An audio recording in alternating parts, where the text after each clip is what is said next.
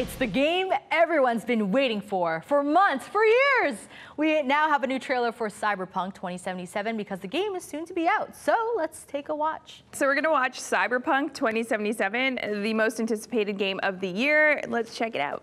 All right, a trailer for a game, Cyberpunk 2077, which is scheduled to arrive in 2089. Let's do it. Where'd you even come from? It looks so good. Talk. Out of here. Understand?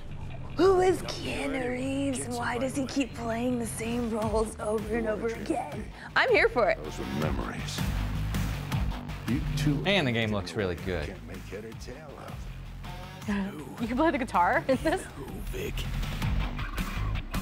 Silva. Johnny Silverhand, man. I love the music. It just really builds up the hype. I mean, is there any other game that has built up as much hype as this game? This game looks so good. It's almost making me want to play a single player game. burned down half the city just to prove he was right.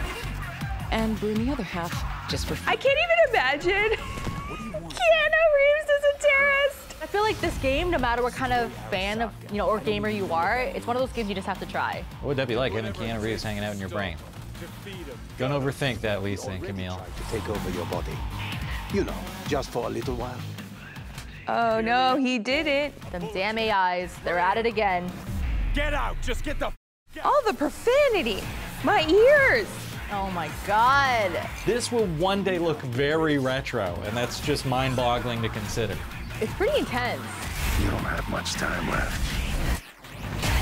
Potential game of the year for next year, like, there's just too much hype. You're a dick, you know. And you're a. Maybe we'll fit together after all. I mean, CD Projekt Red makes some fantastic games. This one looks like it's going to be another one for the record books. Keanu Reeves in there, basically playing himself. Long wait is finally over, and the trailers, everything we've seen so far is hyping it up for possibly the best game of maybe 2021. Who knows? Who knows? But I would definitely try out this game. It's Keanu Reeves delivering some ridiculous lines. I, I would fall for that. Actually, now that I'm thinking about it, his lines in here kind of have him on the scale of Nicolas Cage. Hear me out.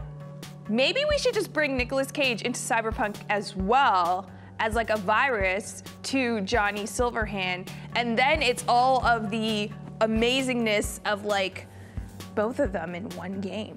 I'm down. Anyone else?